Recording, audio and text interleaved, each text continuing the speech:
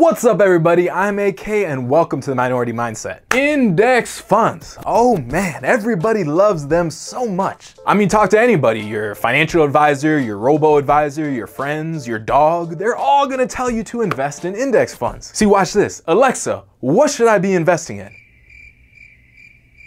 Oh man, she, she might still be mad at me. We actually, we had a fight last night. But everybody says to invest in index funds because they think it's really safe. They treat it kind of like the new gold or something. But it's not that simple, and we're gonna talk about why in this video. Now, the first thing we gotta do is understand what an index fund actually is. So an index fund is basically a fund that you could put your money into that will mimic the returns of the general markets. So for example, you could have an index fund that covers the S&P 500. So if you put your money into there, your investment is is gonna do exactly what the S&P 500 does. So compare this to say investing in something like Kraft. So if you invest in the company Kraft, you're putting your money at risk because something could happen and the stock can just drop. And that's the risk you gotta take when you're investing in a single stock. But if you're investing in an index fund, you're investing in the entire market. So a single stock getting hit hard like Kraft, it's not gonna hurt you as much. So say for example, you invest $100 into an S&P 500 index fund. And it's pretty simple to do that. All you gotta do is go into to your brokerage and say that you want to invest in that specific index fund. So now you got your $100 in that index fund. So if the S&P 500 moves up 3%, well then you're going to make 3% on that $100 or $3. Your index fund is going to track what the index does. Now this is all without considering fees, which are what I'm going to talk about right now. So one of the biggest reasons people love index funds so much is because of the low fees. So when you're investing in a fund, whether it be an index fund or a mutual fund or something else, someone someone is managing that. And obviously they gotta get paid somehow, right? They're not doing for charity. So that's why they start charging fees on that fund. And a fee is basically just a small percentage of the assets that you have in there. So say you have that $100 in that index fund. The fee might be something like nine cents on that 100 bucks. So the fees aren't that much in that example, but when you have a lot of money, those small fees start to add up. And that's why people are always looking at what the fee might be. So when you're dealing with index funds, the fees tend to be lower. And that's because the people managing managing the index funds, all they're doing is just tracking what the overall market does. And when you're tracking what the overall market does, that's something called passive investing. And the opposite of passive investing is active investing, where you're trying to be like Warren Buffett and just pick the best stocks. So obviously, if you invest in a fund that is actively investing, they're doing a lot more work, so they're gonna charge you more fees. But if you invest in a fund that's passively investing, that's a lot less work, so they're gonna charge you less fees. So the idea is that the people who invest in the passive funds, like the index funds, they just just want to do what the market is doing. They don't want to pay someone to try and pick stocks and do better than what the market is doing. And if you're thinking, huh, well, why wouldn't you want someone to do a good job picking stocks and make you more money? Well, that's because it's very hard. And most of the active funds that you can invest in,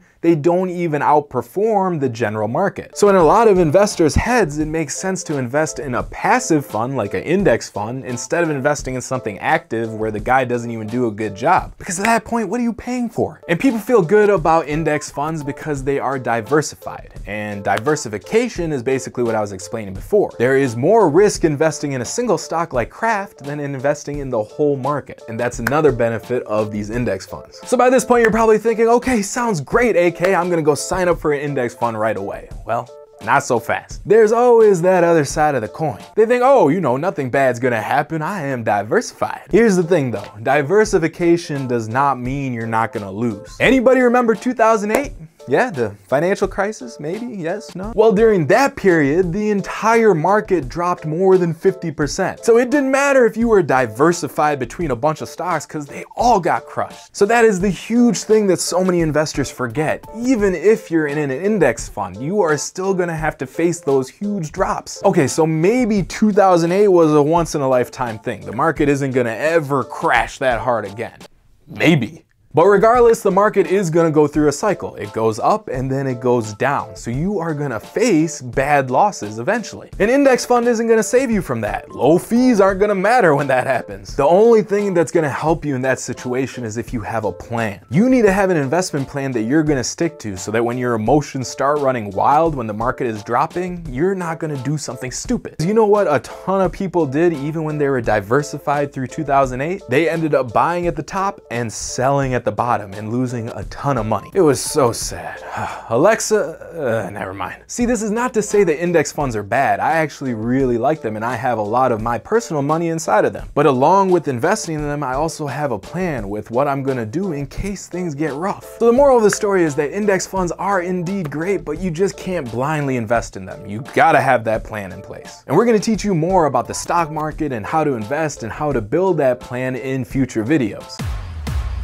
Thanks for watching. If you enjoyed this video, then make sure you hit that like button and share it with one friend so we can spread the word. Also subscribe to the Minority Mindset YouTube channel and hit that notification bell so you don't miss our new stock market video next week. If you want to see more of me, AK, then you could head over to my personal channel at Fallible, where we talk about the stock market and investing every single day. I'll see you in the next video. Bye.